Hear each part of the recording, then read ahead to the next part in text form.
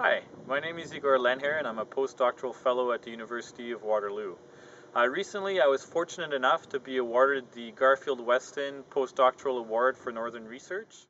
My field sites are Lake Hazen on northern Ellesmere Island and various lakes near Wekweètì in the Northwest Territories. The objectives of my research are to look at how climate change is impacting freshwater ecosystems in the Arctic. I'm particularly interested in carbon and nutrient cycling and how major processes such as ecosystem productivity, which fuels aquatic food webs, may be changing. My goal is to integrate physical, chemical, and biological aspects of lakes across various temporal scales to obtain a more complete picture of how Arctic lakes function. For example, I'm sampling water from lakes and ponds and using stable isotope techniques to measure rates of primary productivity and ecosystem respiration, which together comprise ecosystem metabolism.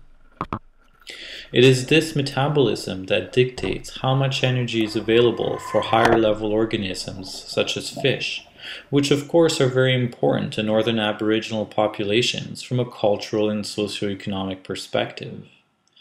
To complement these types of measurements and gauge how Arctic lakes have changed over the past few hundred years in response to ongoing climate change, I'm using sediment cores to look back in time. This approach allows me to measure how inputs of nutrients, organic matter, and erosional material from the watershed have changed, and to reconstruct ecosystem productivity in Arctic lakes over time. So I want to thank the selection committee for awarding me this fellowship as well as the Weston Foundation for their generous contribution and their uh, commitment to Northern Science.